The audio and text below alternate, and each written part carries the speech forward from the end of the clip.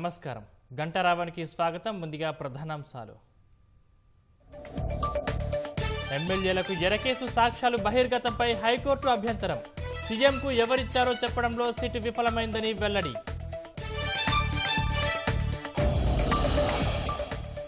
పాలమూరు రంగారెడ్డి ఎత్తిపోతల పాత ప్రాజెక్టేనన్న రాష్ట్రం. అన్ని అనుమతులు ఇవ్వాలని సిడబ్ల్యూసీకి వినతి.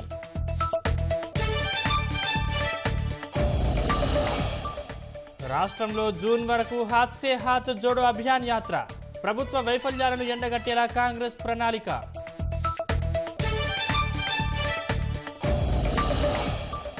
కందుకూరు ఘటనపై ప్రధాని నరేంద్ర మోదీ దిగ్భ్రాంతి.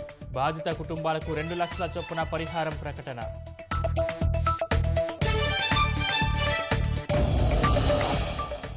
కరోనాపై అప్రమత్తత అవసరమన్న నిపుణులు. వచ్చే నలభై రోజులు కీలకమని అంచనా.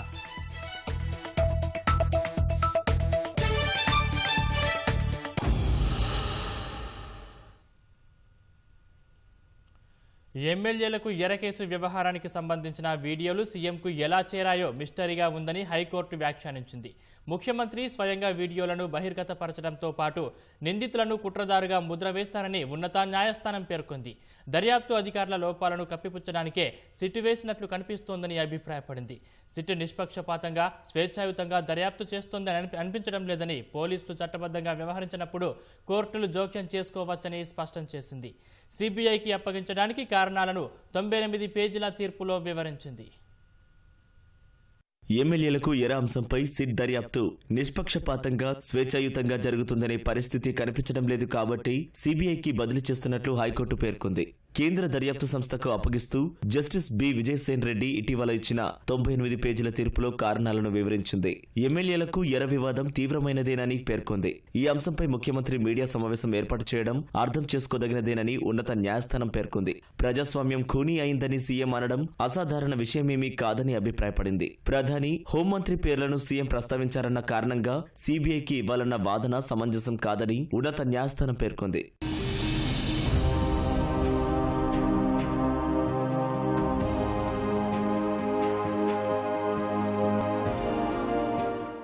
కేసు దర్యాప్తు ప్రాథమిక దశలో ఉండగానే వీడియో సీడీలు బహిర్గతం కావడాన్ని హైకోర్టు తప్పుపట్టింది. సీడీలను ముఖ్యమంత్రి దేశంలోని న్యాయమూర్తులందరికీ పంపించడం తీవ్రంగా పరిగణించదగిన అంశమేనని తీర్పులో ప్రస్తావించింది. సీడీలు సీఎంకు ఎలా ఎప్పుడు ఎక్కడ చేరాయో మిస్టరీగా ఉందని వ్యాఖ్యానించింది. ప్రభుత్వం తరపున న్యాయవాదులు వివరణ ఇవ్వలేదని దర్యాప్తు అధికారి సీఎంకు ఇచ్చారన్న పిటిషనర్ల వాదనను తోసిపుచ్చలేదని తీర్పులో పేర్కొన్నారు. ఎమ్మెల్యే పైలట్ రోహిత్ రెడ్డి ఇచ్చి ఉండవచ్చునని అదనపు ఏజీ పేర్కొన్నప్పటికీ ఖచ్చితంగా చెప్పలేదని హైకోర్టు పేర్కొంది. కేసుకు సంబంధించిన వీడియోలు డాక్యుమెంట్లు ఫిర్యాదుదారుడికి ఎలా అందుబాటులో ఉంటాయో కూడా వివరించలేదని తెలిపింది. వీడియో రికార్డింగ్లు దర్యాప్తులో అత్యంత కీలకమనడంలో సందేహం లేదని న్యాయస్థానం పేర్కొంది.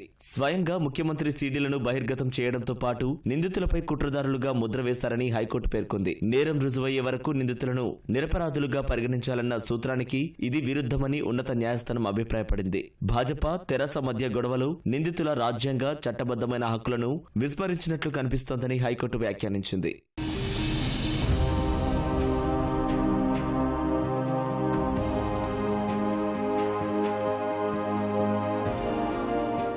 దర్యాప్తు అధికారుల లోపాలను కప్పిపుచ్చేందుకే సిట్ వేసినట్లు ఉందని ఉన్నత న్యాయస్థానం అభిప్రాయపడింది. సిట్ నిష్పక్షపాతంగా స్వేచ్ఛాయుతంగా దర్యాప్తు చేస్తుందని అనిపించడం లేదని కోర్టు పేర్కొంది. కేసు నమోదు నుంచి సీఎం మీడియా సమావేశం వరకు జరిగిన ఘటనలు నిందితుల ఆందోళన అనుమానాలకు కారణమవుతున్నాయని తీర్పులో పేర్కొన్నారు. దర్యాప్తు అధికారిని మార్చే అధికారం సాధారణ పరిస్థితుల్లో కోర్టులకు ఉండదని అదేవిధంగా నిందితులు కోరలేరని పేర్కొంది. అయితే పోలీసులు చట్టబద్ధంగా వ్యవహరించినప్పుడు ప్రాథమిక దశలోనైనా కోర్టులు జోక్యం చేసుకోవచ్చునని ఉన్నత న్యాయ న్యాయస్థానం స్పష్టం చేసింది.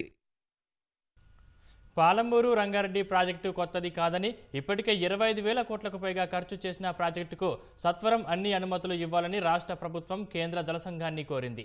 ప్రాజెక్టు డిపిఆర్కు సంబంధించి సిడబ్ల్యూసి వర్చువల్ సమావేశానికి నీటిపారుదల శాఖ ప్రత్యేక ప్రధాన కార్యదర్శి రజత్ కుమార్ ఈఎన్సీలు మురళీధర్ హరిరామ్ చీఫ్ ఇంజనీర్లు హాజరయ్యారు. పాలమూరు రంగారెడ్డి ప్రాజెక్టు డిపిఆర్పై అధికారులు ఇంజనీర్లు ప్రజెంటేషన్ ఇచ్చారు. నీటి లభ్యత వ్యయం పెట్టుబడి నిష్పత్తి ఎన్జీటీ ఆదేశాలు ఏపీ అభ్యంతరాలపై సిడబ్ల్యూసి ఆరా తీసింది. ఆయా అంశాలపై రాష్ట్ర అధికారులు వివరణ ఇచ్చారు. పాలమూరు రంగారెడ్డి ఎత్తిపోతల ఉమ్మడి రాష్ట్రంలోనే మంజూరైన ప్రాజెక్టు అన్న రజత్ కుమార్ ప్రాజెక్టుపై ఇప్పటికీ ఇరవై ఐదు వేల కోట్ల వ్యయం చేసినట్లు తెలిపారు. పూర్తిగా కృష్ణా బేసిస్లోని అవసరాలు తీర్చేందుకు నిర్మిస్తున్న ప్రాజెక్టు అన్న ఆయన అక్రమ ప్రాజెక్టు అనటం సబబు కాదని వివరించారు. ఏపీ నిర్మించిన చేపట్టిన ప్రాజెక్టులు మిగులు జలాలతో ప్రతిపాదించినవేనని చెప్పారు. నీటి లభ్యత ఉందని కేటాయింపుల విషయంలో అన్ని రాష్ట్రాలను సమదృష్టితో చూడాలని అన్నారు. కేటాయింపులు జరగని కారణంగానే డిపిఆర్ ఆలస్యమైందని చెప్పినట్లు సమాచారం. ఈ వివరాల్ని పరిగణలోకి తీసుకుని పరిశీలన నిమిత్తం వివిధ విభాగాలకు పంపుతామని కేంద్ర జల సంఘం అన్నట్లు తెలిసింది.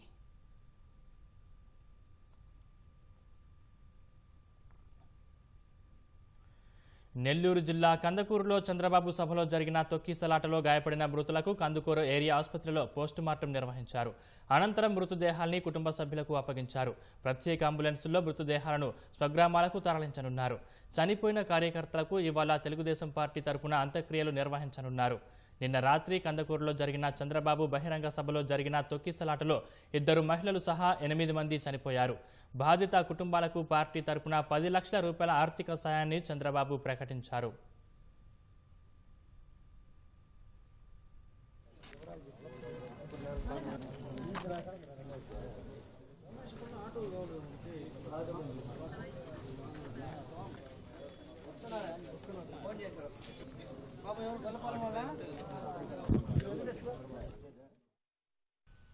కందుకూరు ప్రమాద ఘటనపై ప్రధాని మోదీ దిగ్భ్రాంతి వ్యక్తం చేశారు. మృతుల కుటుంబాలకు సానుభూతి తెలిపిన ప్రధాని గాయపడిన వారు త్వరగా కోలుకోవాలని ఆకాంక్షించారు. మృతుల కుటుంబాలకు ప్రధానమంత్రి జాతీయ సహాయ నిధి కింద రెండు లక్షల రూపాయల చొప్పున పరిహారం అందజేయనున్నట్లు తెలిపారు.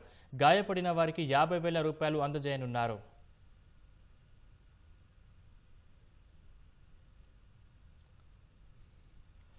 ప్రజా సమస్యలు ప్రభుత్వ వైఫల్యాలే అజెండాగా పాదయాత్రకు శ్రీకారం చుట్టేందుకు రాష్ట్ర కాంగ్రెస్ సిద్ధమవుతుంది. హాత్ సే హాత్ జోడో అభియాన్ పేరుతో దేశవ్యాప్తంగా చేపట్టనున్న పాదయాత్రల్ని రాష్ట్రంలో జూన్ వరకు కొనసాగించాలని యోచిస్తోంది. ప్రభుత్వ విధానాలను ఎండగడుతూ ప్రజల్లోకి చొచ్చుకెళ్ళేందుకు పీసీసీ అధ్యక్షుడు రేవంత్ రెడ్డి కార్యాచరణ రూపొందిస్తున్నారు.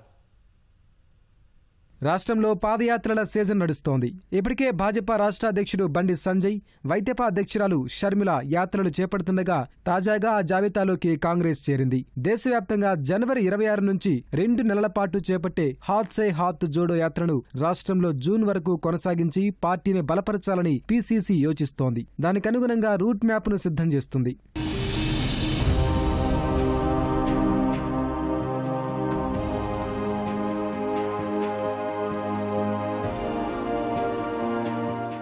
రాష్ట్ర వ్యాప్తంగా కొనసాగే ఈ పాదయాత్రలో స్థానిక సమస్యలను ఎత్తిచూపుతూ ప్రజల మద్దతును కూడగట్టాలని కాంగ్రెస్ యోచిస్తోంది. పీసీసీ అధ్యక్షుడు రేవంత్ రెడ్డి ఆధ్వర్యంలో జరగనున్న ఈ యాత్రను యాత్ర ఫర్ చేంజ్ అన్న నినాదంతో జనంలోకి వెళ్ళాలని పార్టీ నిర్ణయించింది. రాబోయే ఎన్నికల్లో డజన్కు పైగా పార్టీలు పోటీ చేసే అవకాశం ఉండడంతో ఓట్లు భారీగా చీలే అవకాశం ఉంది. అయితే ప్రభుత్వ వ్యతిరేక ఓట్లను తమ ఖాతాలో వేసుకుంటే కాంగ్రెస్ గెలుపు నల్లేరుపై నడకేనని పార్టీ రాష్ట్ర అధ్యక్షుడు రేవంత్ రెడ్డి ధీమా వ్యక్తం చేస్తున్నారు. ఇదంతా బాగానే ఉన్న అంతర్గత కుమ్ములాటలకు మారుపేరిన కాంగ్రెస్లో ఇటీవల చోటు చేసుకున్న పరిణామాలు హైకమాండ్కు తలనొప్పిగా మారాయి. దీంతో అధిష్టానం దిద్దుబాటు చర్యలకు ఉపక్రమించింది. రాష్ట్ర పీసీసీ కమిటీలలో అనర్హులను తప్పించి అర్హులకు పదవులివ్వాలని పీసీసీ వ్యతిరేక వర్గ సీనియర్లు కోరుతున్నప్పటికీ మధ్య మార్గమే మేలని అధిష్టానం యోచిస్తోంది. అయితే రాష్ట్ర అధ్యక్షుడితో పాటు ముఖ్య నాయకుల సిఫారసులతోనే ప్రస్తుత కమిటీ ఏర్పాటు జరిగిందని ఆ కారణంగానే కమిటీలో ఎవరిని తొలగించకూడదని ఏఐసీసీ నిర్ణయానికి వచ్చినట్లు పార్టీ వర్గాలు వెల్లడిస్తున్నాయి.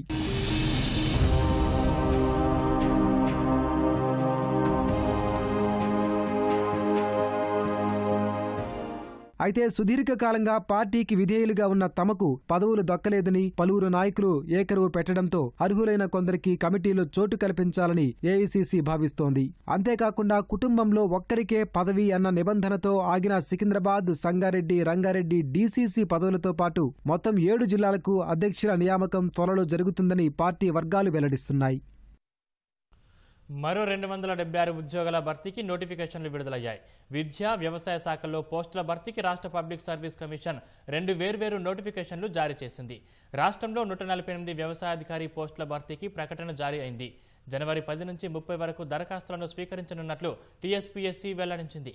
విద్యాశాఖలో నూట ఇరవై ఎనిమిది ఫిజికల్ డైరెక్టర్ ఉద్యోగాల కోసం మరో ప్రకటన విడుదలైంది.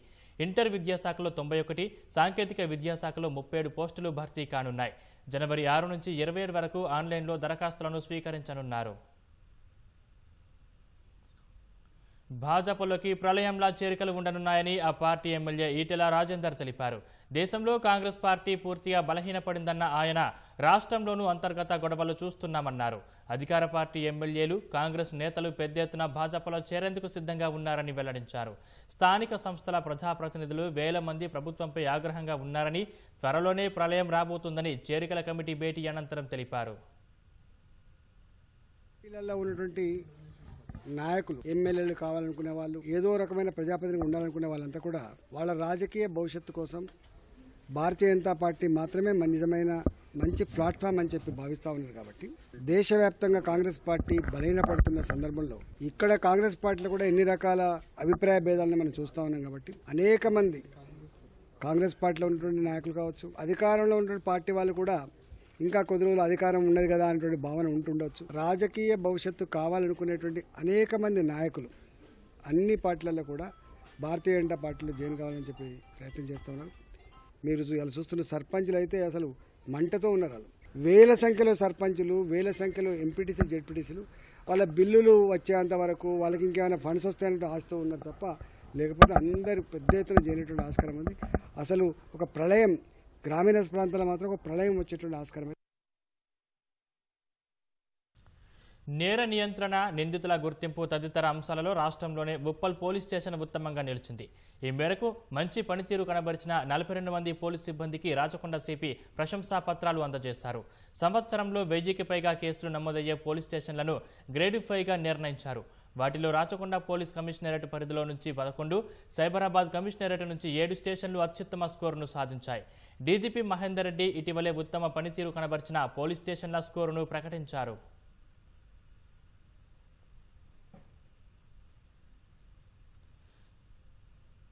జయశంకర్ భూపాలపల్లి కాళేశ్వరం ప్రాజెక్టులోని లక్ష్మీ పంపు హౌస్ ఐదో మోటార్కు అధికారులు బుధవారం విజయవంతంగా ట్రయల్ రన్ నిర్వహించారు. జూలైలో వచ్చిన భారీ వరదలకు పంపు హౌస్ పూర్తిగా మునిగిపోవడంతో మోటార్లు దెబ్బతిన్నాయి. దీంతో అధికారులు మరమ్మతులు చేపట్టారు. ఈ క్రమంలో నాలుగు మోటార్లకు ట్రయల్ రన్ నిర్వహించగా క్రిస్మస్ సెలవు దినాలు రావడంతో ఐదో మోటార్ పనులు ఆలస్యమయ్యాయి. మరో రెండు రోజుల్లో ఆరవ మోటార్ ట్రయల్ రన్ నిర్వహించే అవకాశాలు ఉన్నాయి.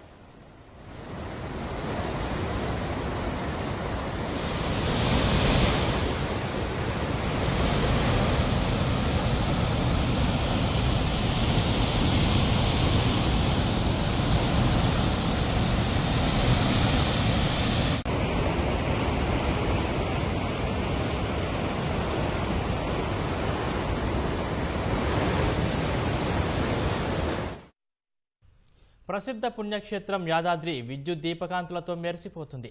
ప్రధాన రహదారిలోని వీధి దీపాలు పునఃప్రారంభం కావడంతో కాంతులతో ప్రత్యేక శోభ సంతరించుకుంది. అదేవిధంగా కొండపైన పసిడి కాంతులతో దగదగ మెరుస్తున్న గోపురాలు చూపరుల్ని కనువిందు చేస్తున్నాయి. ఆలయ ఉద్ఘాటన సమయంలో విద్యుత్ దీపాల్ని ప్రారంభించిన అధికారులు కొద్ది రోజులకే వాటిని నిలిపివేశారు. అనంతరం తిరిగి పునరుద్ధరించడంతో యాదాద్రి విద్యుత్ కాంతులతో మెరిసిపోతుంది.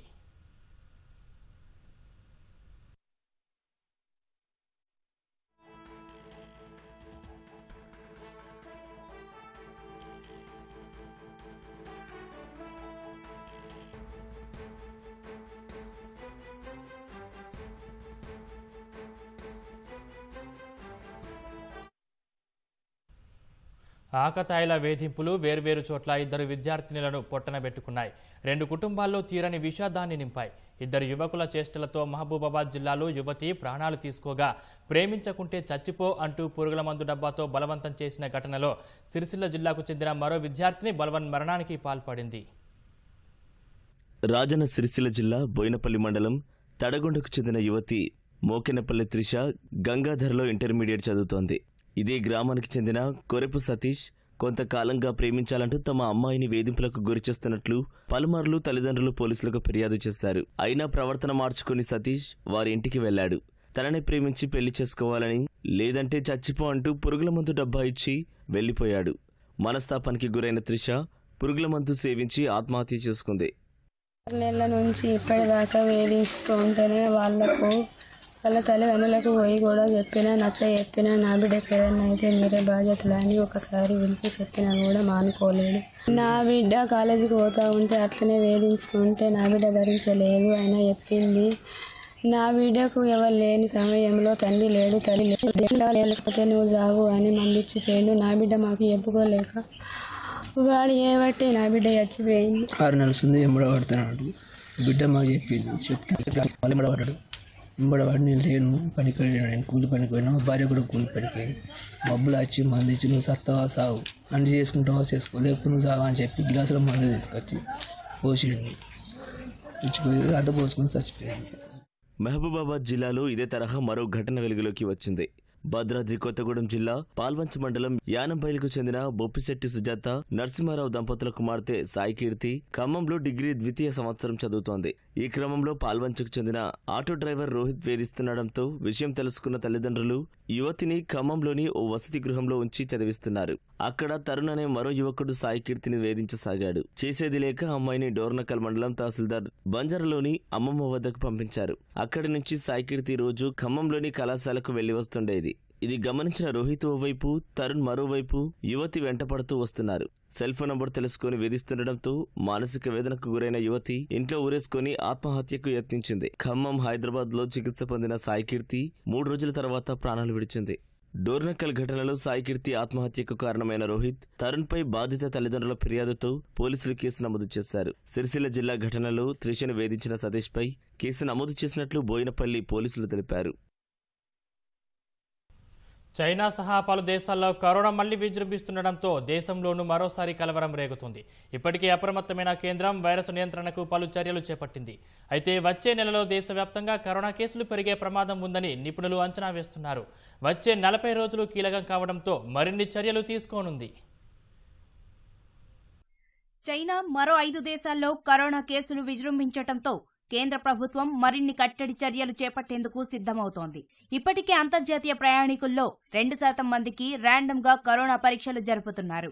అయితే వచ్చే వారం నుంచి చైనా జపాన్ దక్షిణ Korea Thailand Singapore Hong Kong నుంచి వచ్చే వారికి ఆర్టీపీసీఆర్ నెగటివ్ సర్టిఫికెట్ తప్పనిసరి చేయనున్నట్లు తెలుస్తోంది. ఎయిర్ సువిధ పోర్టల్లో ఫామ్ భర్తీ చేయటానికి ముందు డెబ్బై రెండు గంటల్లోపు ఆర్టీపీసీఆర్ నెగటివ్ సర్టిఫికెట్ చూపించాల్సి ఉంటుంది.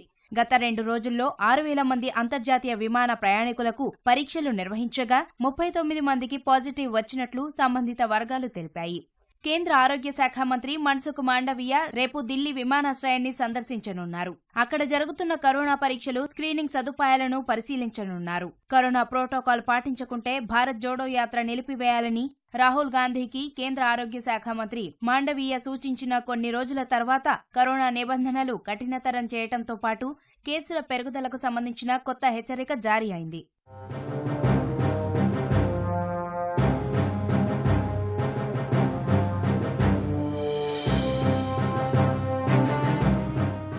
గతంలో తూర్పు ఆసియాలో కోవిడ్ కొత్త వేవ్ మొదలైన దాదాపు ముప్పై నుండి ముప్పై ఐదు రోజుల తర్వాత దేశంలో వైరస్ వ్యాప్తి మొదలైనట్లు కేంద్ర ఆరోగ్య శాఖ వర్గాలు తెలిపాయి. ఆ ట్రెండ్ను గమనిస్తే జనవరిలో దేశవ్యాప్తంగా కేసులు పెరగవచ్చని అంచనా వేస్తున్నాయి. అయితే ఈసారి వైరస్ తీవ్రత తక్కువగా ఉంటుందన్న అంచనాలు ఊరట కలిగిస్తున్నాయి. ఒకవేళ కొత్త వేవ్ వచ్చినా కోవిడ్ మరణాలు ఆసుపత్రిలో చేరాల్సిన పరిస్థితులు చాలా తక్కువగా ఉంటాయని సంబంధిత వర్గాలు పేర్కొన్నాయి.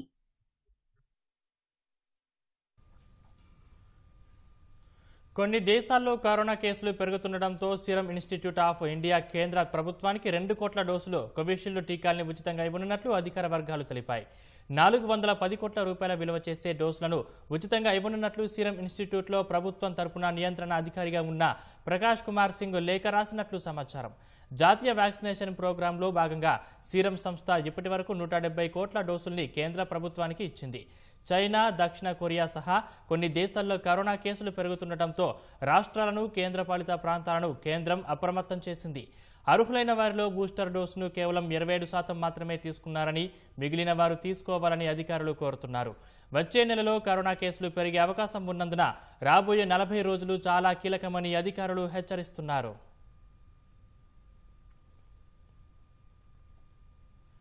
చైనాలో కొత్త రకం వేరియంట్ వెలుగు చూస్తున్న వేళ కోవిడ్ బూస్టర్ డోసుపై మరోసారి చర్చ జరుగుతుంది. ఇప్పటికే కొంతమంది మూడు డోసులు వ్యాక్సిన్ తీసుకోగా నాలుగో డోసు తీసుకోవాల్సిన అవసరం ఉందా అనే సందేహాలు వ్యక్తమవుతున్నాయి.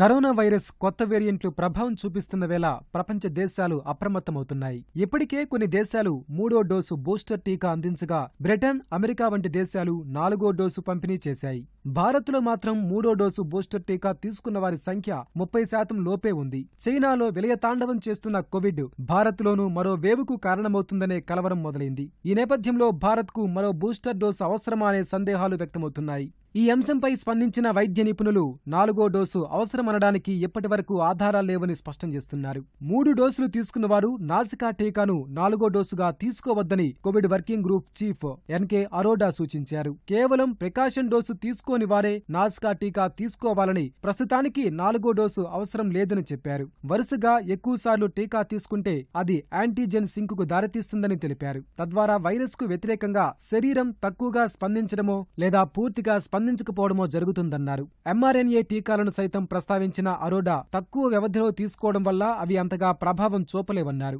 అమెరికా బ్రిటన్ దేశాలు ఇప్పటికే మూడు నాలుగు డోసులను పంపిణీ చేశాయి. అవి పంపిణీ చేసిన ఫైజర్ బయో ఎంటెక్ మోడెర్నా వ్యాక్సిన్లను ఒరిజినల్ స్ట్రెయిన్తో పాటు ఒమిక్రాన్ స్ట్రెయిన్ ఆధారంగా తయారు చేశారు. కానీ ఇప్పటి వరకు భారత్లో అందుబాటులో ఉన్న కోవిషీల్డ్ కోవాక్సిన్తో పాటు ఇటీవల బూస్టర్ డోస్ వినియోగానికి అనుమతి పొందిన ఎన్కోవాకు కూడా వుహాన్లో వెలుగు చూసిన సార్స్ కోవ్ టూ స్ట్రెయిన్ ఆధారంగానే రూపొందించారు. అందుకే కొత్తగా వెలుగు చూస్తున్న వేరియంట్లపై ఎప్పటికప్పుడు పర్యవేక్షణ కొనసాగిస్తూ వాటి ఆధారంగా కొత్త వర్షం వెర్షన్ టీకాలను రూపొందించాల్సిన అవసరం ఉందని వైద్య నిపుణులు సూచిస్తున్నారు. Telecom company Airtel five G నెట్వర్క్ను మరింత విస్తరించాలని నిర్ణయించింది. ఇందులో భాగంగా ఇరవై ఎనిమిది వేల కోట్ల వెచ్చించనున్నట్లు ఆ కంపెనీ ప్రతినిధి ఒకరు తెలిపారు. ఫైవ్ జీ సేవలకు ప్రీమియం ఛార్జీలు వసూలు చేసే యోచనే లేదని స్పష్టం చేశారు. ఎయిర్టెల్ ఏటా సగటున ఇరవై నాలుగు వేల నుంచి ఇరవై ఐదు వేల కోట్లు మూలధన వ్యయం చేసేదని చెప్పారు. ముఖ్యంగా mobile యాంటీనాలు fibre broadband enterprise technology data సెంటర్లపై వెచ్చించేదన్నారు. ఫైవ్ జీ విస్తరణ నేపథ్యంలో త్వరలో ఇరవై ఎనిమిది వేల కోట్లు కంపెనీ వెచ్చించనుందని తెలిపారు. ఎయిర్టెల్ ఇరవై ఎనిమిది రోజులకు ఉన్న కనీస రీఛార్జీ ప్లాన్ ధరను పెంచింది. ప్రస్తుతం తొంభై తొమ్మిది రూపాయలుగా ఉన్న ఈ ప్లాన్ను తీసేసి కనీస ఛార్జీ నూట యాభై ఐదు రూపాయలుగా చేసింది. హర్యానా ఒడిశా టెలికాం సర్కిళ్ళలో ప్రస్తుతం అమలు చేస్తోంది. త్వరలో అన్ని సర్కిళ్ళలో అమలు చేసే అంశంపై కంపెనీ నిర్ణయం తీసుకోనుందని తెలిపారు.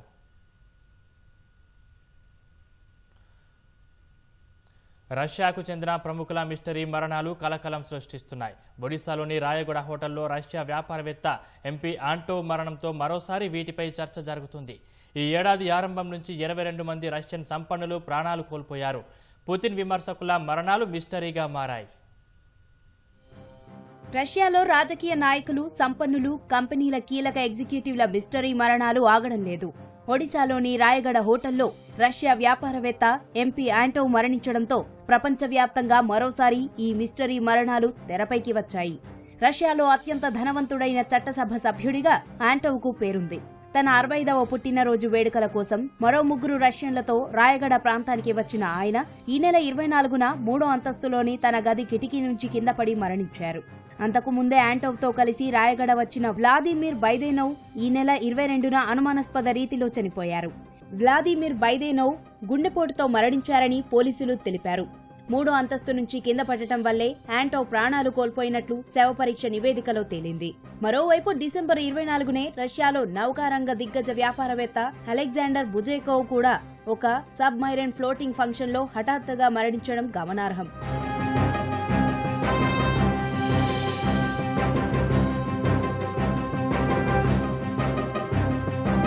ఈ ఏడాది ఉక్రెయిన్తో యుద్ధం మొదలైన ఫిబ్రవరి ఇరవై నాలుగు నాటి నుంచి పంతొమ్మిది మంది రష్యన్ సంపన్నులు ప్రాణాలు కోల్పోయినట్లు గణాంకాలు చెబుతున్నాయి. ఈ ఏడాది మొదటి నుంచి చూస్తే ఆ సంఖ్య ఇరవై రెండుగా ఉంది. రష్యా అధికారులు వీటిని ఆత్మహత్యలు ప్రమాదాలుగా చెబుతున్నారు. క్రెమ్లిన్కు ఎదురు నిలిచిన వారు ప్రాణాలు కోల్పోయిన ఘటనలు సోవియట్ రష్యా చరిత్రలో చాలానే ఉన్నాయి. ఈ ఏడాది ఆత్మహత్య చేసుకున్న వారిలో ఎక్కువ మంది రష్యా చమురు రంగానికి చెందిన వారే ఉన్నారు. రెండు వేల ఇరవై రెండులో రష్యా వ్యాపారవేత్తల మరణాలపై ఒక వికీపీడియా పేజీనే పుట్టుకొచ్చింది. మిగిలిన దేశాలతో పోలిస్తే రష్యాలో ఆత్మహత్యలు ఎక్కువగానే చోటు చేసుకుంటున్నాయి. ఉక్రెయిన్పై రష్యా యుద్ధం కారణంగా ప్రస్తుతం రష్యన్లు చాలా ఒత్తిడి ఎదుర్కొంటున్నారు. ఆంక్షల కారణంగా రష్యా వ్యాపారవేత్తలు ఐరోపా పర్యటించే అవకాశం లేదు. వారి ఆస్తులు విలాసవంతమైన నౌకలు షేర్లు పశ్చిమ దేశాల ఆంక్షల కారణంగా సీజ్ అయ్యాయి. ఆదాయం తగ్గిపోయి రుణాల ఒత్తిడి పెరిగింది. ఇవి ఆత్మహత్యలకు దారితీస్తోంది మరోవైపు పుతిన్ వ్యతిరేకుల మిస్టరీ మరణాలు రష్యాలో చాలానే చోటు చేసుకున్నాయి. రెండు వేల ఇరవైలో అలెక్సీ నావెల్నీపై విష ప్రయోగం జరిగింది. యుద్ధం మొదలైన తర్వాత పుతిన్ను విమర్శించిన లుకాయిల్ చైర్మన్ రావిల్ మాగ్నో సెప్టెంబర్లో ప్రాణాలు కోల్పోయారు. యుద్ధాన్ని విమర్శించిన డాన్ రాపో పోర్ట్ అనే వ్యాపారవేత్త ఆగస్టులో చనిపోయారు. ఇలాంటి పరిస్థితుల్లో తాజాగా పుతిన్ విమర్శకుడు యాంటో ఆత్మహత్య మిస్టరీగా మారింది.